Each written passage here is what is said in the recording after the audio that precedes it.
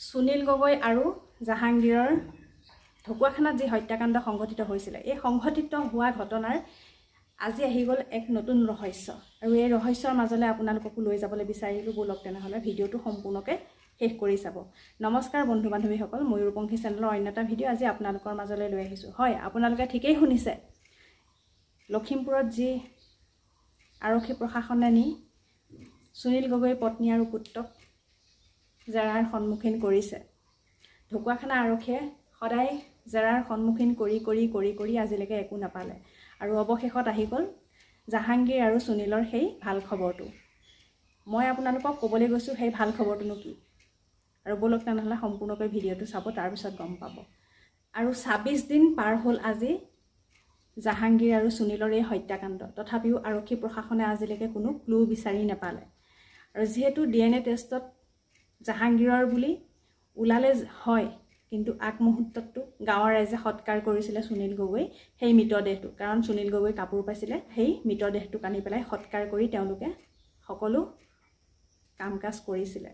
D N A টেষ্টৰ যিটো report আছিলে সেই ৰিপৰ্টটোক লৈ পেলাই আজি ঢকুৱাখানাবাসী ক্ষোভিত হৈ পৰিছে।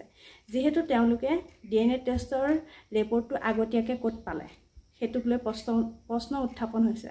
আৰু এই প্ৰশ্ন উত্থাপন হ'বলৈ যাওঁতে শ শ হাজাৰ হাজাৰ গাঁৱৰ ৰাইজ ওলাই আহিছে আহি আৰক্ষী থানা ঘেৰাও কৰিছে। হয় আপোনালোকে ঠিকেই শুনিছে। সেই ভাল খবৰটো যে ক'বলৈ গৈ আছোঁ সুনীল আৰু জাহাংগীৰৰ হত্যাকাণ্ডলৈ যি চৰ্চিত হৈ আছে এই বিষয়টো এই বিষয়টোৰ ওপৰত জনসাধাৰণ ক্ষোভিত হৈ ওলাই আহিছে আৰু তেওঁলোকক অতি সোনকালে এইটো ৰিজাল্ট লাগে। সেইকাৰণে কৈছোঁ আপোনালোকক ভাল খবৰটো বুলি কাৰণ জনতা যেতিয়া ক্ষোভিত হৈছে। সকলোখিনি কথা পোহৰলৈ আহিব। আৰু আৰক্ষী প্ৰশাসন আজি ইমান দিনে ব্যৰ্থ হৈ থাকিলে।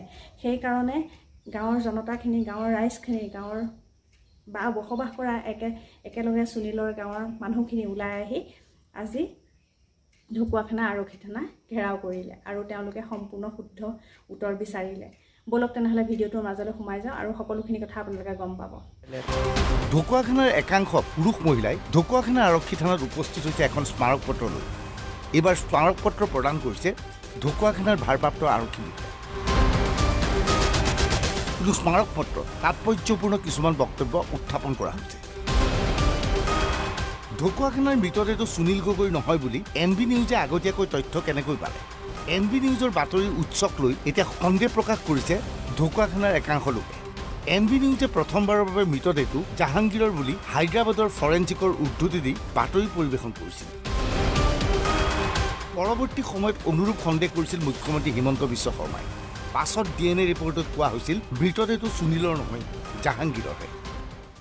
গতিকে অতনু ভূঞাৰ মানে কি হ'ল যিটো মন্তব্য দিলে এই মন্তব্যৰ ওপৰত আমাৰ সন্দেহ হ'ল আৰু মন্তব্য দিয়াৰ পাছত যেতিয়া আমাৰ প্ৰশাসন বিষয়ে আমাৰ ঘৰৰ পৰিয়ালটোক যে সুনীল গগৈ পুষ্পা গগৈক আৰু সৌৰভ গগৈক যে ইমান হাৰাশটো দিছে সেইটো কাৰণে হাৰাশটো নিদিবলৈ দিছে আৰু সুনীল সৌৰভ গগৈ যে পাছ পৰীক্ষাত মানে পাছ মান ছেভেণ্টি ফাইভ পাৰ্চেণ্ট বুলি কয় পাছ কৰি আহি এডমিশ্যন ল'ব নোৱাৰে মানসিকভাৱে হাৰাশটো দিছে তেওঁৰ পঢ়াৰ হেৰি কৰি জীৱনটো ধ্বংস কৰি দিছে এইটো সম্পৰ্কতে আমাৰ ৰাইজে আহিছিলে সেই সাংবাদিকজনক কোৱাৰ উপৰিও আমি প্ৰশাসনকো আজি জনাইছোঁ। সেই সাংবাদিকজনে জানিলে কেনেকৈ? প্ৰথম প্ৰশ্ন আমাৰ সেইটো হ'ল যে যিটো আৰক্ষী প্ৰশাসন আছে প্ৰথম জানিব লাগে তেখেতলোকে তাৰপিছত জানিব লাগে গৃহ বিভাগে তাৰ পাছতে জানিব লাগে সাংবাদ সংবাদপত্ৰই আৰু সাংবাদিকে।